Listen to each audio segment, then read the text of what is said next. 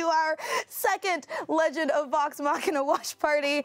Wow, we are already off to a great start. I am Mica Burton, and tonight we will be watching episodes four through six of The Legend of Vox Machina. Joining me are, drumroll please, we got the fantastic Laura Bailey. Oh, hey. Introduce yourself. Tell us Oh, what yes. you're about. I, hi, I'm, I'm Laura Bailey. I play Vex'ahlia in The Legend of Vox Machina. Uh, she's, you know, she's hot. Don't be fooled by her cold exterior. She's nothing but a big softie. Wonderful. And next we have Liam O'Brien. Can't top that. Hi, I'm Liam O'Brien. I play Vax, a resident sneaky boy, uh, handling breaking and entering, master of doors, and stuff. That's me. I Did you say you're my twin? I'm her twin. And we also have Taliesin Jaffe. Uh, hello, I'm Taliesin Jaffe. I am uh, playing Percival de Rolo in this show, who's a sharpshooter and tinkerer and inventor, and uh, despite his cold exterior, is cold all the way through. To be honest, it's just chilly. Lies. Sure Ice. is. and we have our very special, lovely guest who I've been just loving getting to know so far, Sung Jin Ahn, the supervising director of The Legend of Vox Machina. Tell us about yourself. Hi, everybody. I'm uh, Sung Jin Ahn. Um, I don't really have any natural talents, but I enjoy sitting on couch with cool people and talking about cartoons. What do you mean you don't have No, natural nat- talents? You are the supervising director of The Legend of Vox Machina. Took a lot of blood and swears to get here. blood, sweat, and tears. Well, we're so happy to have you, and we can't wait to hear all about your insight into this delightful show. Without further ado, let's jump into episode four of The Legend of Vox Machina Shadows at the Gates. And go.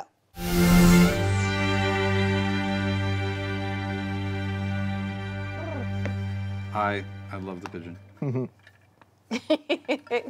I want to make a meta pigeon plushie. Oh. Do that. Maybe I should Will, do will that. it will it make the sound when you squeeze it? Yeah, it would make me happy. Or just a a couple little band-aids on it. Does it. it come pristine and you have to rough it up, or does it come pre-roughed up? It just I would comes with a think pack of pre-roughed up, but I oh, Yeah. that's so cute. Or little Velcro Band-Aids. Oh God, what if we just released like bandages with little meta pigeons on them? Oh, Aww. I'm brainstorming with you guys about merch items. Right now, live, mm-hmm. on stream. This is literally how it happens. This is how it happens. There's there's They usually just be like face band-aids, specifically just for face, for like cool. Like, Oh, just to look really cool? Why Like, you don't actually want to put them whatever we over a cut. It really No, no, is like how it works. no one's face should ever get like, damaged, but just put it as a if, fashion statement. You know? what if you saw this? Then six months later. Yeah, we can't joke about things here. Yeah, we, we are really careful these days. Somebody, there, there's a series of people out in the distance right now who will just slowly write it down, and then it'll be in our. Oh yeah, I heard some pencil scratching in the distance as we were talking about those band-aids. Mm-hmm. Um, anyway, other, let's get off of band-aids and let's get on to some questions, All if you guys don't mind. Well, first up, just like last episode of the watch party, we have some really cool uh, concept art of characters, and we're going to start off with Percy and with Taliesin. Oh yes, let's take Yes, a look. I just we? want to know what was the process for creating Percy for The Legend of Vox Machina? I mean, other than he had to be very pretty. Succeeded. I, I mean, it was a lot of fun, and honestly, I, I will say that the design department hit hit him very quickly, and it was not a a uh, terribly difficult process. It, where it's just refined, but clearly has been away from money for a while. Um, the gun design took took quite a while, but I remember we were workshopping that for a while. yeah, of just like just uh, there was a lot of like no even uh, like even stupider something that clearly doesn't work like Right. five out of six times like something that just breaks all the time. But yeah, thankfully, you guys like really understood uh, the the mechanism, so it was not hard to communicate, um, especially with the um, when we get to bad news with the the uh, um, lens system. I'm really glad that got used. As a, I think that yeah, that's all credit to Arthur, who's the art director. Like just he he he was like a critter from before, and I think he was it was just like when he got to talk to you and you guys were brainstorming, uh, you know, Percy's gun and such. I could always I could just tell the glimmers that he was in Dreamland, and he really he really worked it, engineered it. Like he, I'm sure he, he even did like schematic drawings of how it like breaks apart, Oh, and, reassembles. and sent it to me. I'm like, and I was like, this is actually one of the best representations of these guns I've ever seen. I mean, like, I even remember having a conversation with some guy on the internet years ago who was like, I make antique, I refurbish antique guns. Mm. Explain to me what they are, and I did, and he was like, those are stupid and wouldn't work well. I'm like, I, I, I know they don't. they break all the time. It's It's the first one. I mean, yeah. really there'd be some bad. Problems. There's a reason there's only one. Well, now that you have schematics, uh, how long until you have a functioning They version? will. They by their very nature are so bad that they don't. They will never work. well, but yay, yay, Probably for the Wheelocks. best. Wheelocks are great. Probably for the best. yeah, Um, probably. They blow up. Can we talk th- about the the art, the original concept art that we just saw go by, which is beautiful, but man, I love where we landed eventually because that art, as beautiful as it is, is very like there's so much panache to it, and it's Yeah, it just doesn't your feel like. Percy, That's- right? that's- But the much final, later on. it's Like, much more like- elegant and reserved, and it's just so dapper and perfect. yeah, Oh, yeah, the- Yeah, this, he has a with like the chain, gold and the. these. The chain was definitely a, a point of discussion because we a lot of people like the statement of the chain, but chain's also one of the things that's like really difficult to pull off animation consistently. Mm. So yeah, you definitely see that like Liam nailed it on the head. Like you see the evolution of like a lot of panache, and then the final version is more like more streamlined uh, for animation's sake, but also just kind of like where he is in the story. yeah, he doesn't want to necessarily be noticed. He still wants to be who he is, but he doesn't. necess- He doesn't want to like this. stand out. With the coat off, the shirt and vest. I Yeah. know. I like that he That's keeps hot. gloves on as well. You know, Yes. like the coat comes off, but the gloves It's stay. kind of like, what are you gonna do? It's a filthy world. Oh my, what are you gonna do with those gloves? oh. Whew, well, all right, let's um Well, move on before this gets out of hand. Laura, this isn't really moving on to anything less sexy. Laura, can you walk us through your uh, exploration of how you created Vex? Uh, wait, in in like game game or No, no, no. just, like the- in this in this this animated? Legend of Um, Vex. conversation. Sure. I mean, you know, I wanted her to uh, obviously be sexy and hot. That was like, and I've said it before. Like that is my my one describer of her when we were originally creating the characters. I'm like, just make her hot, um, and that's what I want, obviously. But I wanted Vex to seem like, you know, she is kind of um, conservative at the same time, you know, um, and she's able to use her her figure and her, you know, her looks to her advantage when she wants to. So I didn't want it to be present at all times. Um, it's something that she can change as needed. And the So, quiver was where we ended a, the quiver was a, I know we had a lot of talks about the quiver Yeah. as well because it's tricky. It was weird to balance functional versus aesthetic, you know, qualities.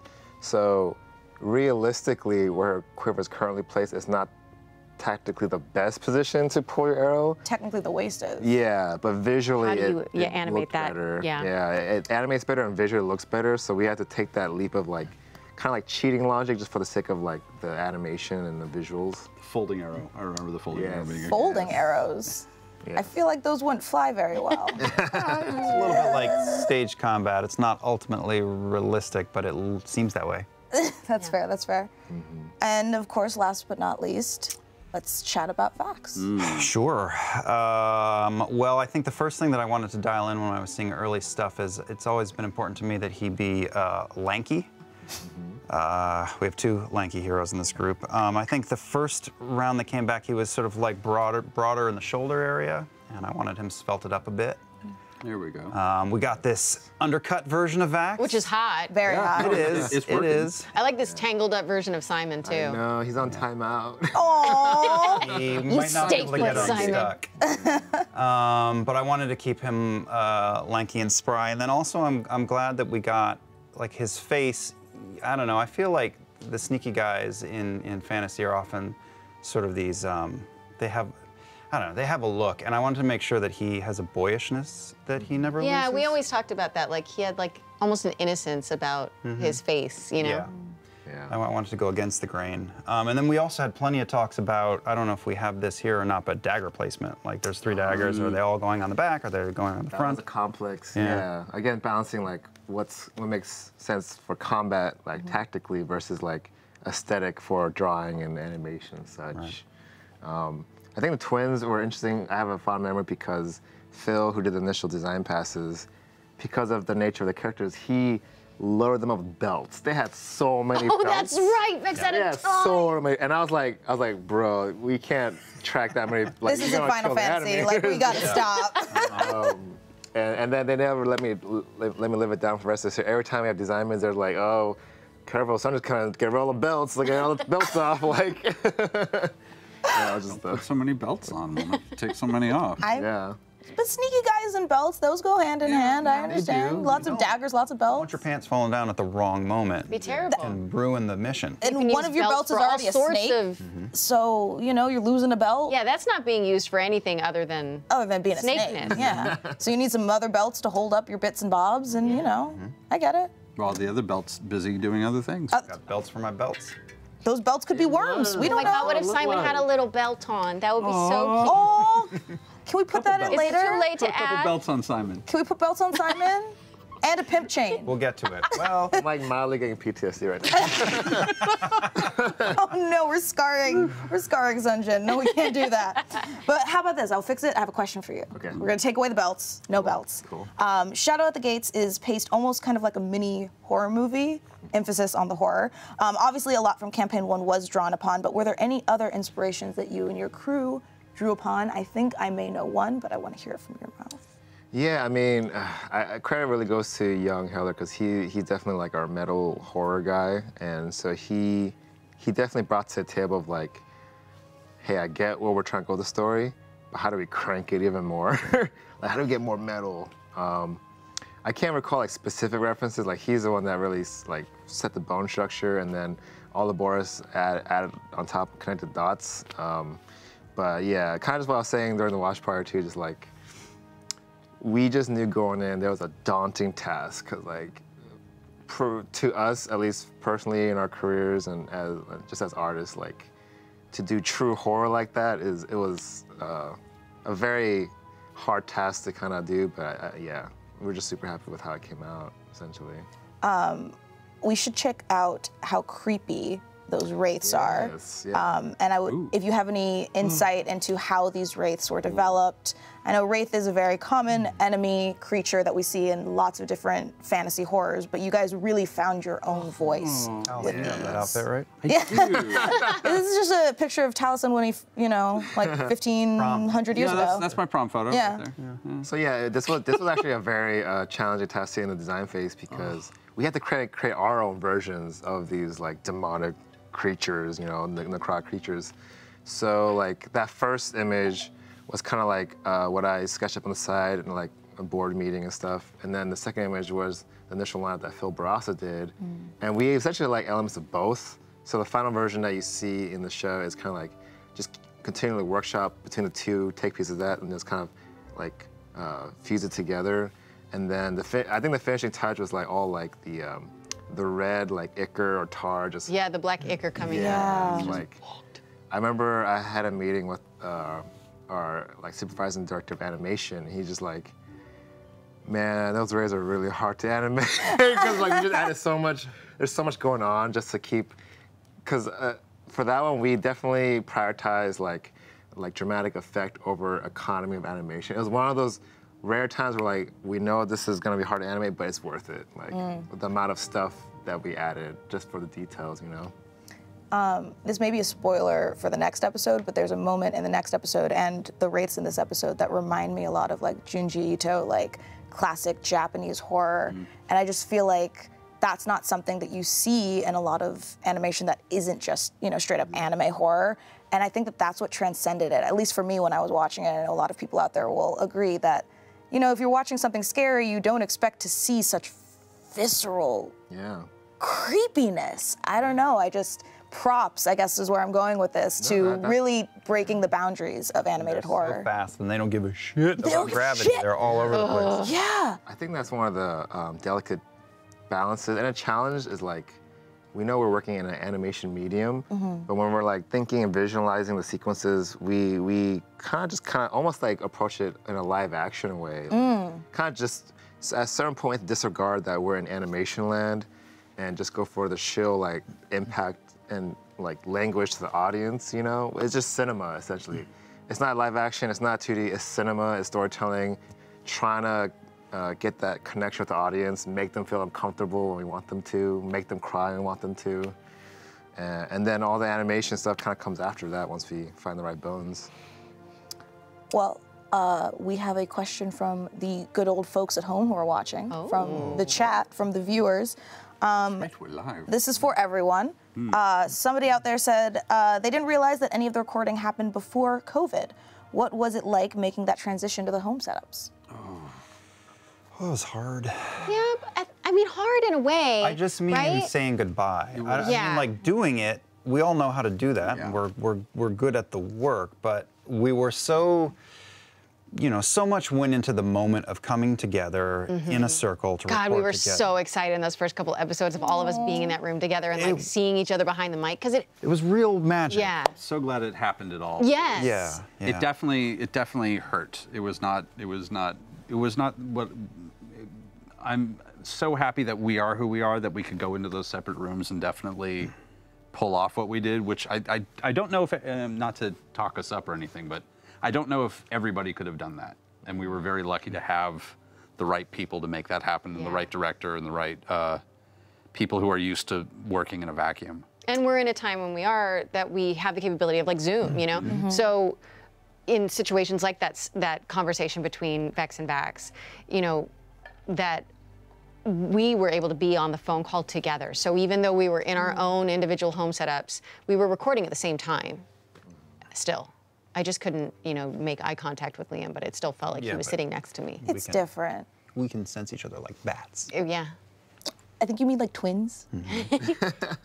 They actually screech in a very high pitch. Echolocation. That makes, Yeah. No, no, no, that Where makes Laura is in Los Angeles not at all any given time. time. It's kind of uncomfortable. Like down to down to the exact street where you are and like what you're doing. Mm. you pooping? Yeah. yes.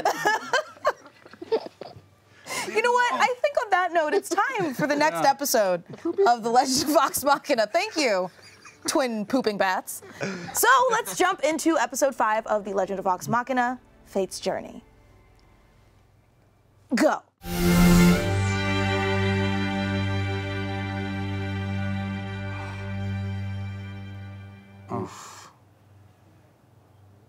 Ugh.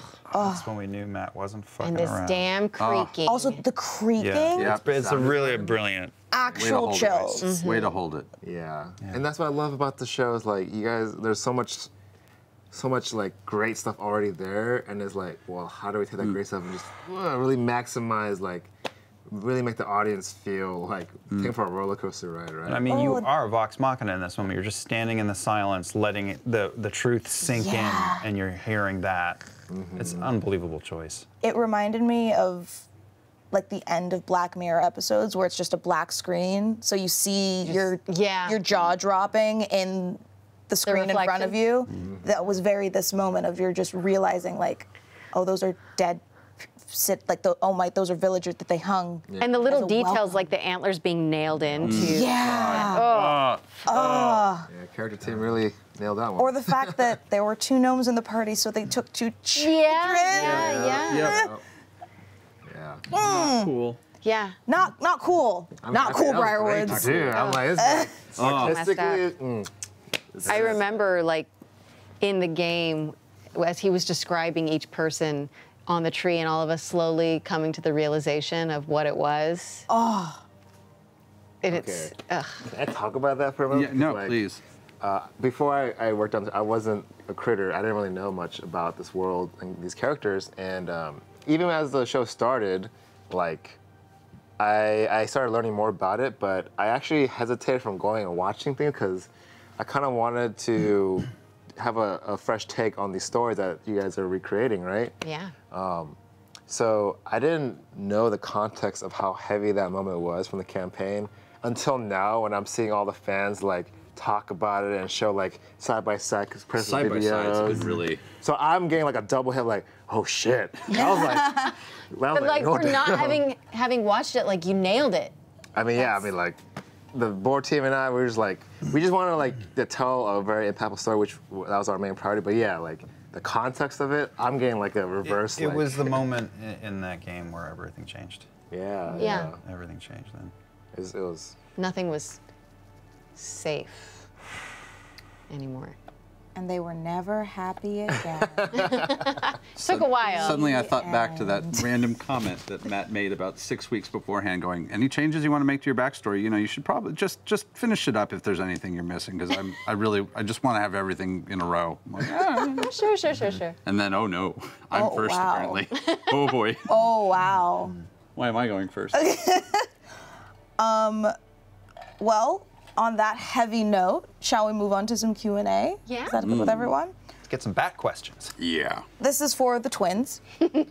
um, this is the first. Uh, just kidding. That's I can't read. This is for Laura and Taliesin. Oh. Not for the twins. Sorry.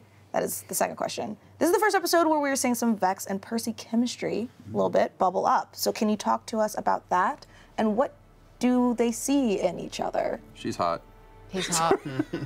I, I, I, I will say she's, at that point, the only person he actually thinks is another adult. He has a very, yeah, I, he, he, he does think he's the only adult in the room all the time. You're the only other person that I believe at that point that he actually thinks is a mature human being. Mm-hmm. uh, your, your brother is an idiot and everybody else is just goofing off. Obviously. And Keyleth, Keyleth, uh, you know, she's she, she, she comes she comes from a. From She's like a little she's kind of- sister. She's She's, like- very little sister. She's not really, you know, she's not there yet. Yeah. yeah, you're the you're the only other person I can talk to like an actual human being. And she's hot. And she's so hot. Yeah. God. That's Ugh. fair. That's Yeah. fair. Yeah. He's hot. And he's very hot. He's So hot. Um, yeah, and I just, Yeah. uh, yeah, I think, I mean, you see it in this that like Percy has so much depth, um, and I think Vex is very interested in seeing what he's hiding because it's obvious that there's more that he's not revealing, and that is mm-hmm. incredibly enticing to her. Mysteries. You're you're very kind to me when I'm being terrible all the time. I will say like that. Like Vex's character is like, why don't you just calm down? Hmm. maybe maybe s- slow it down a little bit. Where where you know Vex is like, what the fuck are you doing? Uh, there was a gun in my face, man. there. Uh, so for Liam, same hmm. question. Hmm. We're seeing Vax catch a little bit of some some ooh woos for the Keyleth. Um, when you were working with the writers on how to introduce that, what was going through your head as he takes a long sip of his boy. drink? Well, it's a, it- it's wrapped up in sort of how we've had to condense so much. Yeah. Um, in the original game, things were staggered by quite a bit, and they're going to happen much closer together just because they need to, because we've squished everything down. So, like, you're already seeing the glimmer between them as uh, Vax and Keyleth are more obvious in in Yeah, ours is far more like subtle right now. Right. For sure. Yeah. Um, and we've lost the whole we like we've jumped in we've we've sort of like shaved away the first 30 games that we played. So we're coming in later. Right. and so it was like there was definitely trying to figure out like well what can you what where are you landing and how much are you doing if you're coming in jumping past a bunch of stuff but an audience is seeing it for the first time. So there there has been a lot of gosh i don't want to get too deep into it because so much yet to come but there was a lot of fine tuning like the timing of it where the two of them like like uh, the two different relationships almost like uh, those games at the fair where you're squirting water and you make the horses go down the mm-hmm. track you're like where are they each on their track? Yeah. um, so so just like dialing in where and when and how is a big part of it. Boy romances. Mm. Come a long way. Airships, huh? yeah um, this time for the twins up there. Uh, we got some Vex and Vax backstory in episodes one and two, but in episode four and five, we really get to see Vex and Vax's sibling dynamic, particularly when Vex picks up on Vax's feelings for Keyleth. For the folks at home who maybe aren't as familiar with the twins, talk to us about what's going on there. Why is Vex so suspicious of Vax's feelings for Keyleth? What's with the cold shoulder? What's with the doubt? Right, right, right. I sort of like mentioned it in the as we were watching, but uh, Vex and Vax grew up having continually losing everything in their life that is important to them in various ways, and um, the only constant throughout their life was each other. Um, and they've always relied on each other. They've always had each other's back, and so in these moments of seeing, oh, there's a, a genuine interest there because I'm, I'm sure in, in their in their past they've had moments of you know he's going to go off and do something she's going to go off and do something like they both had dalliances yeah obviously. But um like this is the first time she's seeing like this vulnerability with him with somebody else and like oh shit like I know where this could go. And the terror of being left behind in those moments comes out for Vex as cold shoulder shittiness, basically. Like, I'm going to push away the thing that is putting me at risk. Um, so she's extra terrible to Keyleth in those moments because she's the thing that's coming between her and the most important thing in her life. I mean, that's a very honest emotion to feel. I feel like none of us here in this room are perfect. We've all acted a little shittily towards something that Oh, sure. deeply scares us. and I just, I genuinely love that kind of representation of the shittier sides of us. It's like nobody's gonna be like, oh my gosh, yes, thank you, beautiful person who may take my brother away from me. I That's mean, all I've had. Yeah, it'd be great if we could all be like the perfect person all the time, but Right. we're not. And I think that's what makes these characters relatable, right? Mm-hmm. Are, are their flaws? And and he gets it too. Like he knows exactly why she's Totally. responding the way she is. It, and so he's trying to like navigate and make sure that she feels supported and loved and, and not abandoned, which is something that the two of them struggle with, while mm-hmm. also trying to be like, well, but I can I we sh- we're, we're supposed to grow up and we're supposed to live and but I'm still you know it's just a hard hard little needle to It's awful. Yeah. Mm-hmm. And it's it's it's bad because at the same time, you know, and we're just going down this like path of twins right now. But like Vex like adores Keyleth. Mm. Like she's adorable. She's powerful and cute at the same fucking time. She's amazing. She's an amazing and she talks to trees. What's better? Yeah, like what's better than that? right? So it's like I'm forcing myself to really dislike you right now. Yeah. You know. I mean, it's kind of like in The Lion King, where Nala comes back and Timon and Pumbaa are really pissed about it. Exactly. And they sing, "Can you feel the love tonight?" Exactly. You know. You We've had long talks about Timon Oh, and yeah. Pumbaa. Yeah. No. I. I It's really the basis. can we talk about how The Lion. King is integral to your backstory and how, honestly, if you really look deeply at it, that's. I wonder how many tie-ins we could find. I want to do the. I want to. Dear critters out there, if you can equate The Lion King to Vex and Vax as much as physically possible. Timon and Pumbaa specifically. Timon and Pumbaa specifically, get back to us. Nathan Lane and I went to the same high school. The threads go deep. That sounds. Wham! Inception noise. All right. Wait, is that true? Yep. That sounds true. Not at the same time, Oh. but the same high school. now at the same time would have come back with some Yeah, yeah, yeah, amazing stories. Good actor. Mm-hmm. Very good actor. So were you. Sometimes. That's he was talking about himself. Oh. Nathan Lane, meh, Sometimes. it's alright. Sung Jin. Yes. There's a bug. Get him.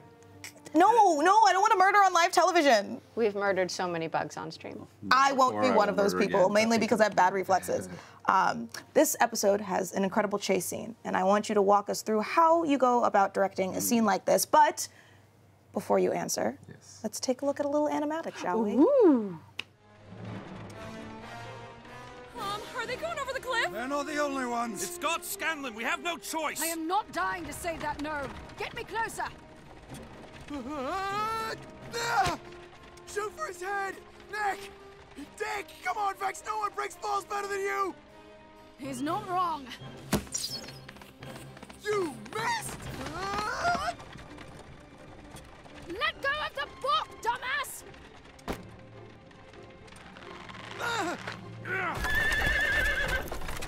Off the!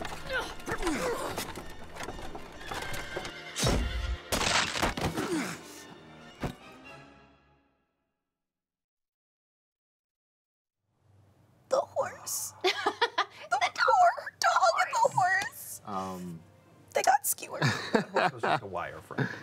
Okay. Didn't hurt. Okay, as long as you're sure. Okay. yeah, so I mean, chase sequences by nature. Oh boy, The pain in your voice right now. Um, the uh, yeah, chase sequences are, are challenging because it's that constant sense of momentum that you have to keep tracking in as everyone sees and knows. Animation is like by frame, you know, like catered each frame. So uh, we just knew like we had to always keep track of like, okay, are we keeping track of the momentum? How is the how is the speed of the environment going? Uh, we can one thing we're trying to be wary of is like the endless runway thing of like depending on how we shoot it, will it feel like we're just on like this endless runway for too long? You know, The Scooby Doo Um, shot. yeah. Same hallway. yeah, going so we have to find that right balance. Um, in the animatic, I, I saw like a harmony of like a lot of art. Like it was originally um, Shanae did the original boards, and then Alicia and revision. I saw some Marvin poses um, just added on top of it. Um, so like ultimately, yeah, that approaching the chase, like I think Sh- Shanae really set the groundworks of like, like how long we're gonna stay on these certain angles and getting giving off that sense of speed. And oh boy, I remember when she was boarding that too. There was there was like one time I was like, "Are you okay, girl?" Because like uh, like she went, she was like studying like how like the the wolves would be running and the horses galloping. and, like, God. and like so bad. One time I saw her on her Instagram post, like she just did like this horse drawing. All I saw, and all I said was just horses, dot dot dot. And I was like, "Are you okay? Like, you, you need to talk a little bit." um, Are you but breaking down Need a a little bit? yeah, but she really, you know, she really set the bone structure of that chase sequence, and then um, it's a little favor to me. I was like, "Hey, Alicia, like, because Alicia did that sequence of the when the wolf fell off the cliff, and also the horses.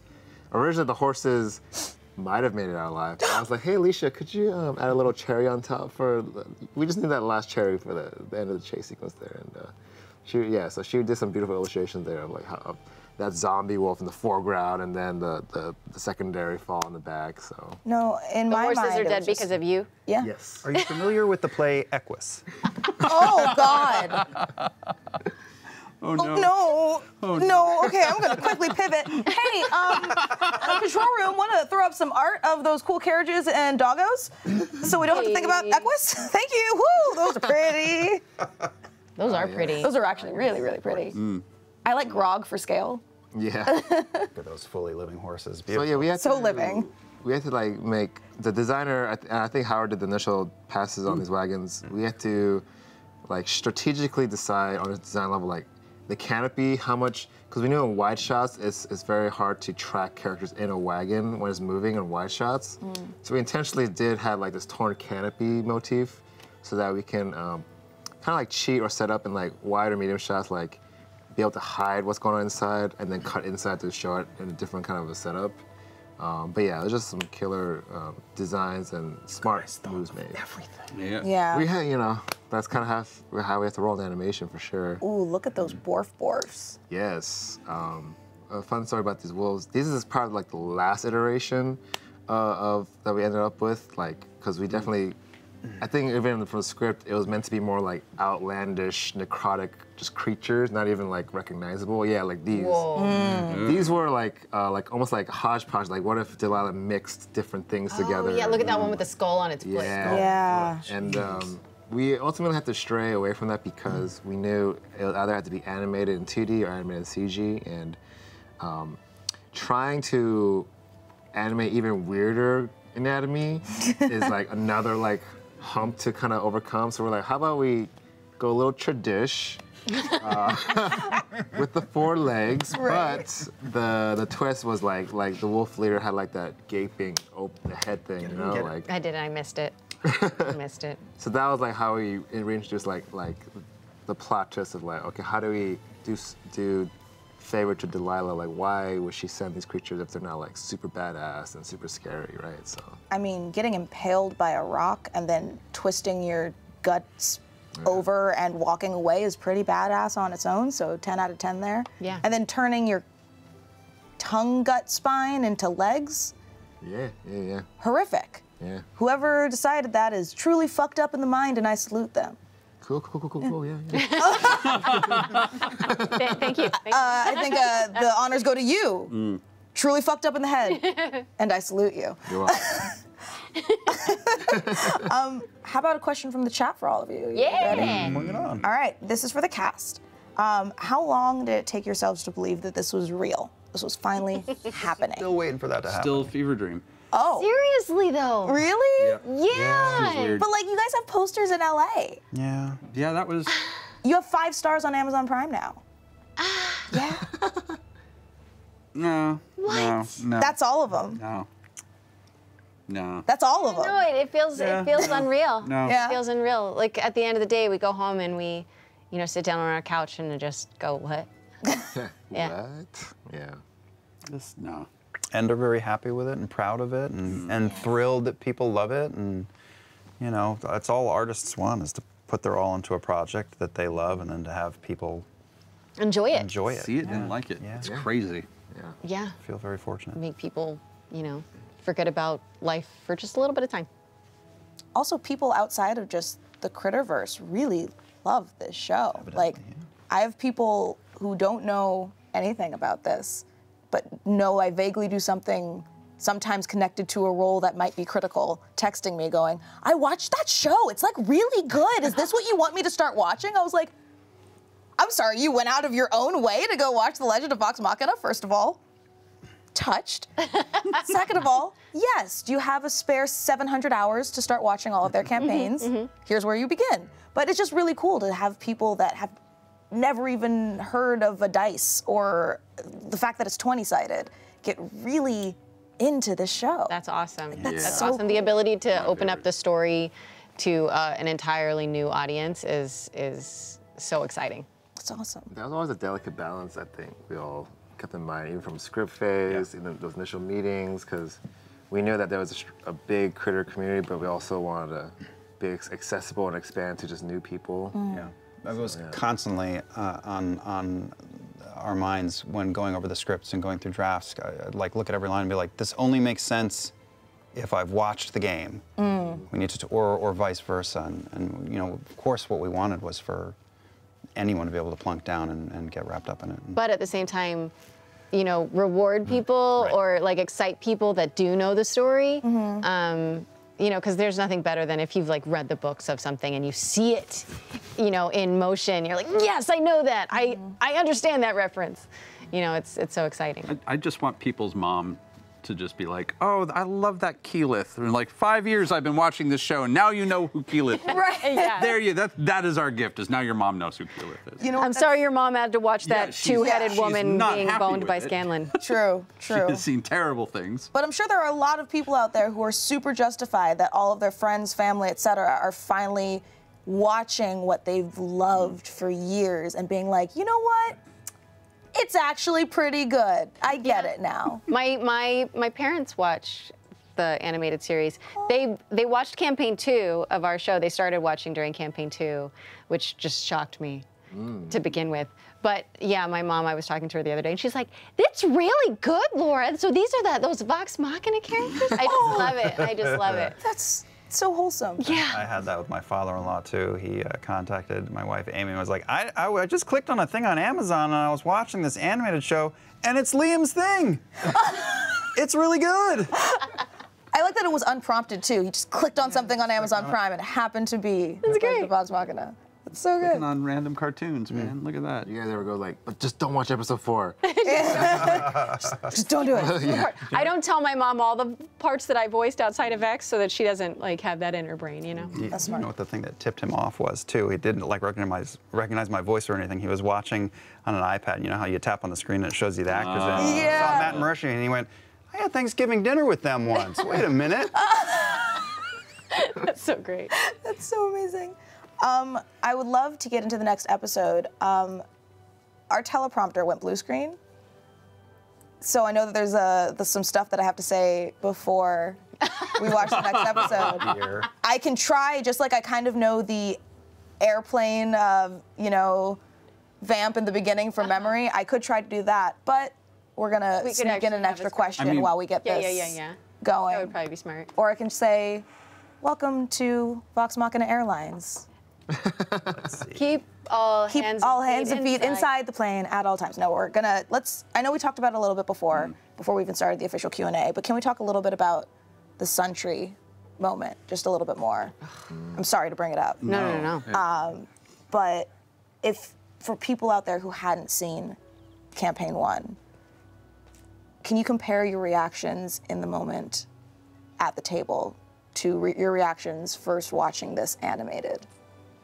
Can I just interrupt to say I believe I killed the fly? Did you really? Did you get it? You did not, really? one of these. No, it's right there. Even it's a right, slow. Nope. Well, I killed- yeah, maybe there were two because you did get one on your Okay. hand. I did a That's little, why it seemed so. I did a little Caleb Widogast, little twirl, and there was a dead bug in the hand. I'm proud of you. Hmm. Now you have to kill its brother. I mean, it, it's purely horrifying. It was Yeah. wonderful. I don't. Yeah. It was wonderfully horrifying. Yeah, I, I remember going home that night after the game and like thinking about the visual of it, thinking about that moment, like as I was trying to go to sleep at night, and and then getting to see it, uh, you know, in motion. Um, just kind of brought back all of the all of the horror um, of the realization.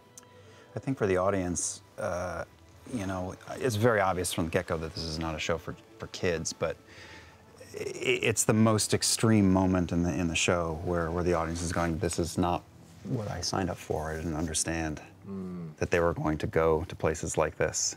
Um, you know, even beyond our horror movie aspects of episode four. It's just, I mean, it's a deep cut. Yeah. Well, it's, it's it, and even in the original game, it was such a, a good prelude, so that to, to kind of like put it out there of like, are you okay? You can you can get off the you can get off the ride still. Uh, this is this is kind of what's ahead. It's a, it was a very good uh, uh, sign of of the darkness to come. Oh, we were all Yeah. fascinated. Yeah. Ooh. And still are. They're So, not are you guys ready for the final episode? Woo! Yes. Without further ado, the sixth episode of The Legend of Vox Machina, Spark of Rebellion. Smash that nipple button. Smash that nipple button. Hell yeah.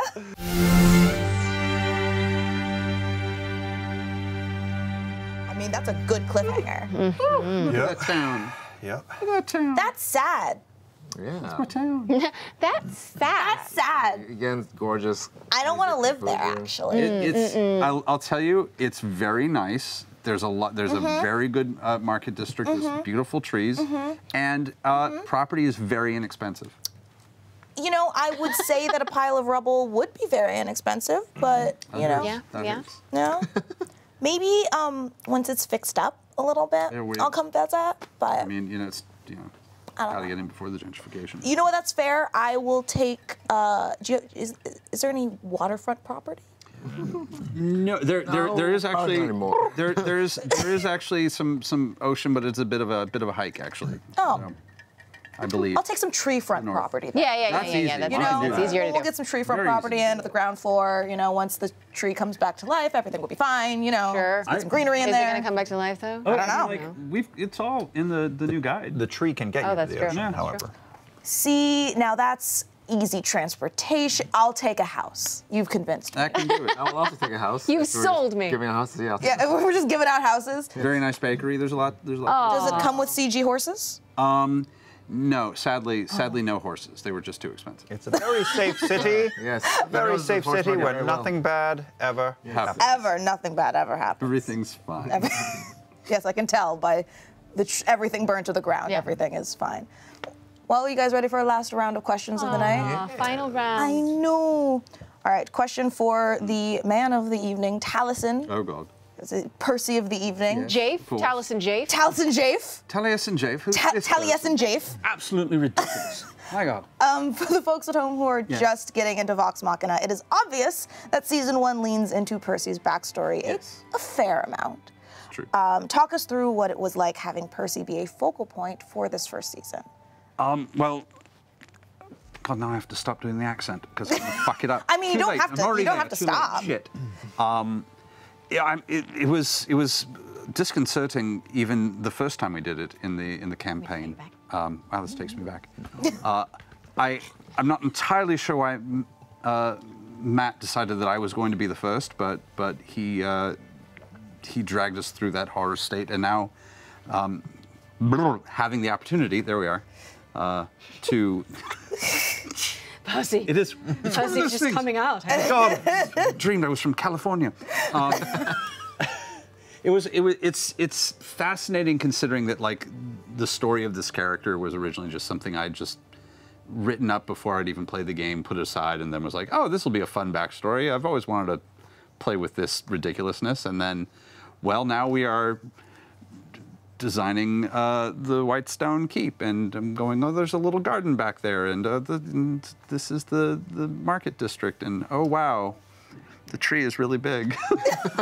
oh, no. Oh, the tree, yeah. you put those amazing things on the top of the spires. I'm like, oh, that's so nice. Look at that. Oh, there's that's Whitestone. amazing. Yeah. Oh, wow. Yep. That was another early shot that we got Oh at the my beginning of it all that yeah, we the just iterations. we just stared at, dumbfounded. Yeah. Yeah. Uh, At just- Whitestone. Oh, the throne room. I have I have so much ridiculous history written about up about this place, and it's just so strange to see it hmm. function. This Of course, you learned the language of the angels in this house. I mean, it's actually true. It's just so Yeah. beautiful. There's a very We nice know. library on one of the upper floors. know it's Secret true. library. Talking about the library. Yeah. I'm like, we even figured out where it's gonna be and stuff. And Yeah, then we, did. We never, got used to shoot it, it. Yeah. but like, Oh. but I, we know where it is. yeah, we know where it is. Yeah. You never know. It could come up. And it, there is a little, mm. there's a little secret hatch, and there's a whole thing. It's great. Oh, I love that. I mean, like you were saying earlier, all of you have been talking about it. These are characters that you dreamt up years and years ago. Who would have ever thought that there it is in a show, animated, all of your thoughts and dreams and ideas manifested, not just at a table, but like Strange. outside of your own body. yeah. Is that wild? It is very, very weird. it's very weird. It's it's so incredibly personal. Um, that you know, like as we're even just like developing the the stories, um, and and writing the scripts, like it feels so personal. Seeing the lines on the page, and you want the characters to. Uh, be showcased in the correct way because it feels like your heart is on that page, right? I don't know. I'm, I'm still, I'm, I'll admit, I'm still a little nervous about the, the episodes to come of just how people are going to react to the, uh, the inevitable end of this particular chunk of the Yeah. story, mm. and what people are going to think when they finally get to see where it's all headed. Mm.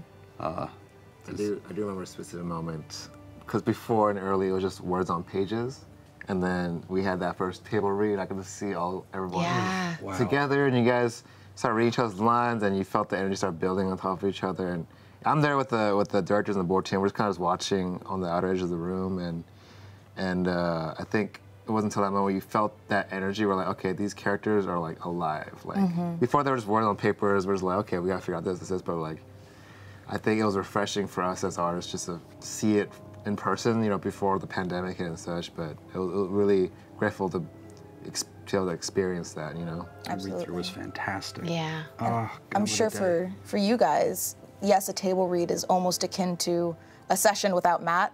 It's like a session without a DM. But then to see the storyboards, then to see the animatics, then to see it polished, then to see it on a platform. It's like just literally, like you said, they came to life in front of your eyes. Just I don't have a character in this show, and I'm like, this that's the coolest thing in the world. So I can't even imagine how it must feel to have your child Yeah. be there on your screen. Up and walking. Yeah. Yeah. Every second I was convinced they were just gonna be like, nope, nope, okay, we're, we're got everything you want. We're out now. It is the most creatively thrilling and satisfying experience of my life. Yeah. Truly, yeah. Yeah. Everyone involved as well. Yeah. Shout out everybody. If you know an animator or a writer or creative, go hug them. Go hug them right now. Tell them you're doing a good job. Hydrate and get some sleep. Yes. Are you hydrated and getting sleep? One of those two, yes. Sometimes. Draw me, draw me- draw me a bear riding a horse, if you wouldn't. If, if you could just go home, draw me a bear riding a horse, Drinking a beer. drinking a beer in flowing water. So, uh, fun fact actually, um, Trinket the bear Yes. is actually in animation terms just a horse. Trinket is just a bigger, hairier, cuddlier horse because it still needs four legs to go around and do stuff. Yeah. I've got this. I- You take I- that back. I am fully aware of, of like the the love and hate relationship that the animators have with Trinket, right? Because you know how wonderful he is. He is adorable. He's adorable. God and at the same adorable. time, you just hate his guts. yeah. Yeah. But he's adorable. Yeah. He's So adorable. there's You that. just screech him. It's Sam's synergy. legacy. Yeah. I know. Sam's Sam's gonna get Uh, away. I have Sung Jin, I have another question for you. Uh, we spent a lot of time building up this reveal of Whitestone. Percy had this beautiful monologue about it. So, how much work does it take to bring a location like this to life and then simultaneously fucking destroy it? Oh man, you know, honestly, um, from like the director's and storyteller, storyteller's point of view, uh, it's not, it wasn't that complex. But I think the true tragedy lies with the designers, because they, they're the ones that really put in the effort, the work to build up the, the world and Whitestone, because they, they, they have to design it all first, engineer, think about all the nooks and crannies, and then they pass it to us when we start doing the storytelling. Um, So it's truly tragic for them too when they see it all dilapidated and destroyed. But I, think they had fun with it too. Um, but um, yeah, it's you know it, it is truly like very design heavy to just to take this whole world from the campaign that you guys already visualized and like to physically like make it exist in front of our eyes. You know, so that's a, that's a feat in itself essentially. Hmm. And there was also art, as we saw in some of the episodes, of fully formed Whitestone, like pretty, mm-hmm. not Past. burned down Yeah. Whitestone, which must be triply painful to then solely animate it, burnt Yeah. to a Nipply crisp. painful. Yes. Nipply painful. Yes. Smashing. Yes. Embrace. Speaking of nipples, that's a horrible segue. All right. Here's the segue. Roll But what is it? What What's the question? So Vex, Yeah, I'll take it. um, we I see. mean, I have nipples too. That's true. That's true. You know what? Speaking of nipples, no.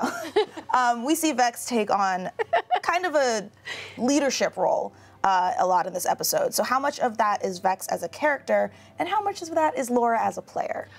Oh, I am not bossy in real life. I am pretty. I'm, am I bossy? Wow, Liam Am I a bossy person? No. Liam No, Smith. and I will say that um, I don't think you were there this day, but in the big like writer summit that we did at the beginning, there was a day when a question was posed like, "Is there a leader of Vox Mach?" And everyone was like, "No, no, no, no." And I said, "Well, there isn't a leader." But Vex was always ex- always made actionable, intelligent decisions and just drove things. So like no one would call her the leader, and people would fuck off and do what they wanted mm-hmm. anyway.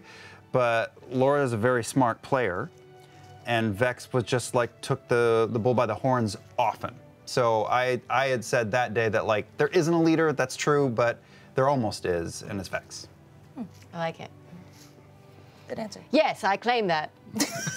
I agree. Oh yeah, that's that definitely that tracks. Uh, We speaking just had good ideas, and good ideas are good ideas. and Laura's good.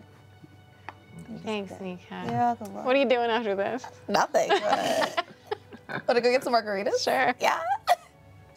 anyway, speaking of leaders, um, we finally got to meet Archie, uh, the leader of the resistance in Whitestone. But he's not quite the Archie that we or the critters may remember from campaign one. So could you guys all talk us through the process of making Archie a childhood friend of Percy versus the former chancellor for the de Rolos? I mean, a, a lot of it is just, uh, and please chime in for this, is, is just when you're looking at the hundreds of hours in front of you of that you have to condense, condense, condense, condense. Yeah. The big thing, the, like, I don't want to say the easiest thing, but one of the ways you can really, really, really help yourself is you can take a character you know you like and then let them do a bunch of things that other people, other characters Yeah, that combine are, it with other. Yeah. Yeah, mm, they can just kind of do everything. Ooh, Art. Oh, hey. Hello. Yeah, Nice all vest. those are good. I like the question, too big? Never, never. No, no, no. but it, it, yeah, it just seemed like Yeah. the perfect fit. it, just adding to that, it, it really was about so like we have all this time and we need to shrink it down and we need the group to go here for this and we need them to be over here at this time. And I, I'm trying to remember, but I believe it was just more conducive to have him be this kind of a figure to make sure that we could get the team in the places we needed them to be, and it worked out for the best because like he's such he's such a great design and Dominic sounds fucking great. Mm-hmm. And you wanted this like charismatic presence that, you know, people would follow, right? I think he nailed it. Yeah. Oh yeah, just amazing. Nothing wrong with a hot dwarf. How about a question from the chat? Let's do it. Ready? right. All right. This is for Sung Jin and Taliesin. All right, here we are. Dynamic duo. Couch Bros. Couch There we Bros. are. Uh, so obviously Percy has a lot of importance in the Briarwoods arc, but what was the most fun or interesting Percy moment to see come to life in animation, and what was the most challenging to get right?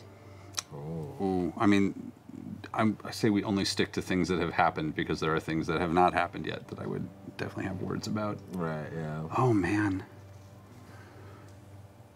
I mean, like clearly that, at least what we just recently saw, Percy was that Percy and Stonefell. Like that was, um, it, no, it wasn't really hard at all, but it was very, uh, it was very exciting to do because that's technically like Percy's first revenge, you know, and we started incorporating like his relation and this his gun, you know.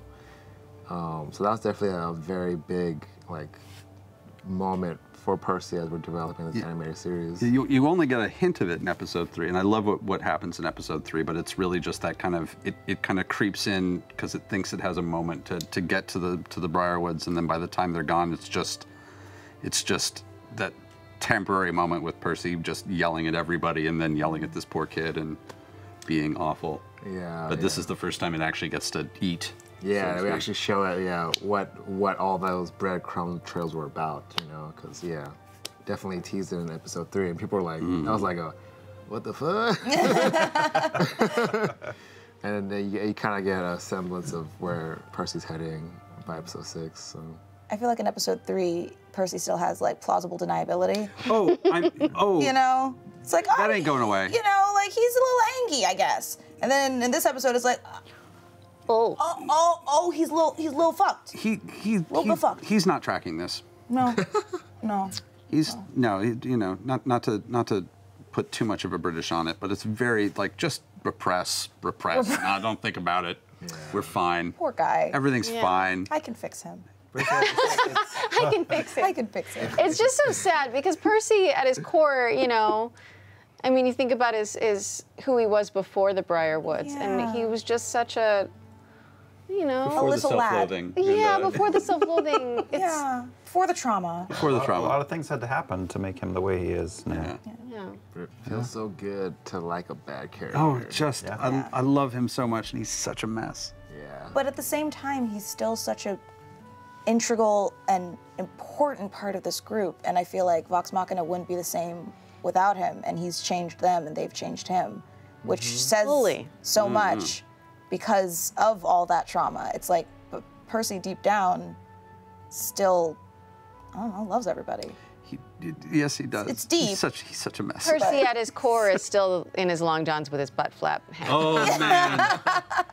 oh, I've forgotten about that. Yeah. Thank you. Aren't those the kind of characters that we just love so much that they're just so tortured, but they're so sweet? one, uh, onesie pajamas? In onesie pajamas specifically. Yeah. Here's your next merch idea. Percy onesie pajamas. Oh, with a butt flap. With a butt flap. with the Yeah, you button- gotta have the butt button flap. Yeah. But like all of the buttons are little guns, Oh, little bullets. little Oh, bullets. yeah. Cute. Hard to twist. Is there a way to make the butt flap look like the barrel of a shotgun opening? Just sounds uncomfortable. Let's just- okay, you know what? Let's let's table this for later. Let's, Yeah. let's go for some more chat questions here. I apologize for that visual, everybody. Um, uh, this is a question for the cast. Uh, in making the show, did any of the players learn something about campaign one that they didn't already know? Good question. Surprisingly well-built plot. I don't know. Mm, mm-hmm, It's like, wow, this is this is surprisingly linear and makes sense. Um, God, let me think. I don't know if I like learned anything new about.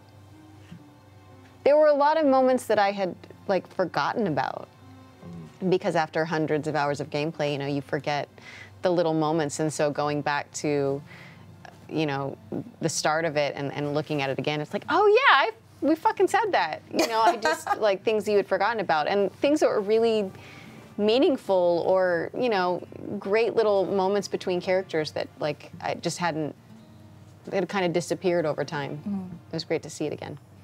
I'll say that the NPC perspective stuff is kind of was blowing my mind. Yeah. Like That's, that's, something good I didn't answer. know. Right Yeah, there. Getting to see. My answer was the bad answer. Taliesin's answer was the good answer. No, every think answer were is a one- good Your answer was the answer. friends that we made along the way, which is important. No, Laura's always right. That was the bad answer. um, yeah, getting to see the Briarwoods off on their own and, and what motivates them, and getting to see, and also getting to see Pike, and like this fleshed out Yeah. uh, version of her her branch of the story. Yeah. Getting to see, you know, what what Matt had cooking in the back of his brain all that time. Yeah, mm-hmm. because that's what ways. that's so cool. Like while we're playing, to know that everything that we're doing, Matt constantly has the world Clocking still it. turning.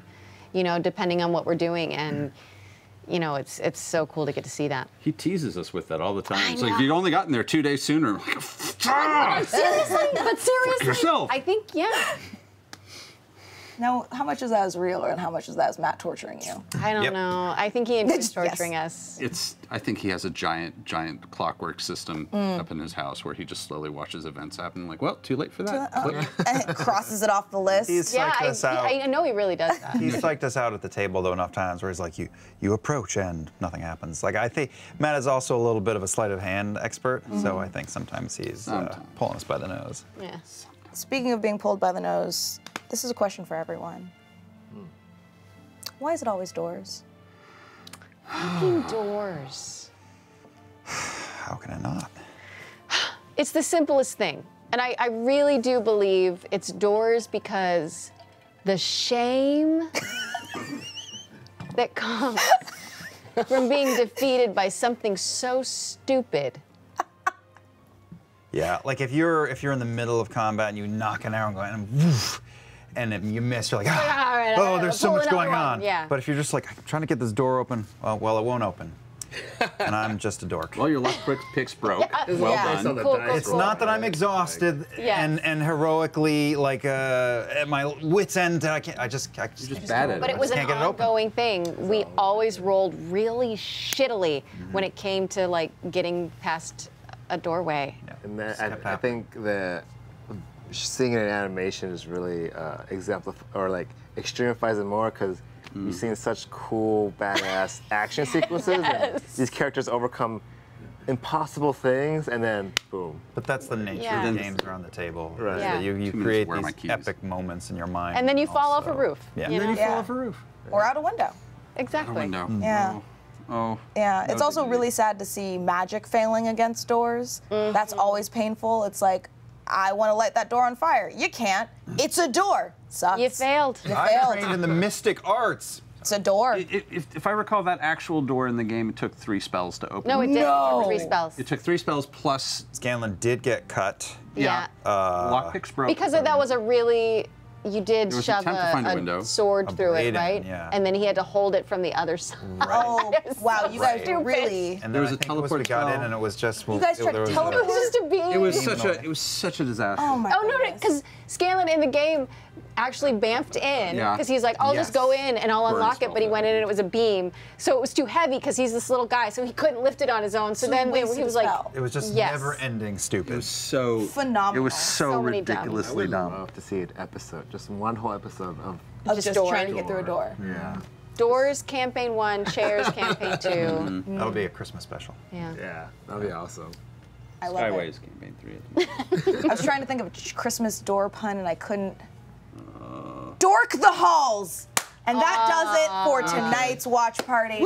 Make sure to join us again next Tuesday, February 15th at 7 p.m. Pacific to watch the next three episodes of The Legend of Vox Machina with Ashley, Sam, Marisha, and Travis, and special guest episodic director Young Heller. Woo! Noise. Good night, critters.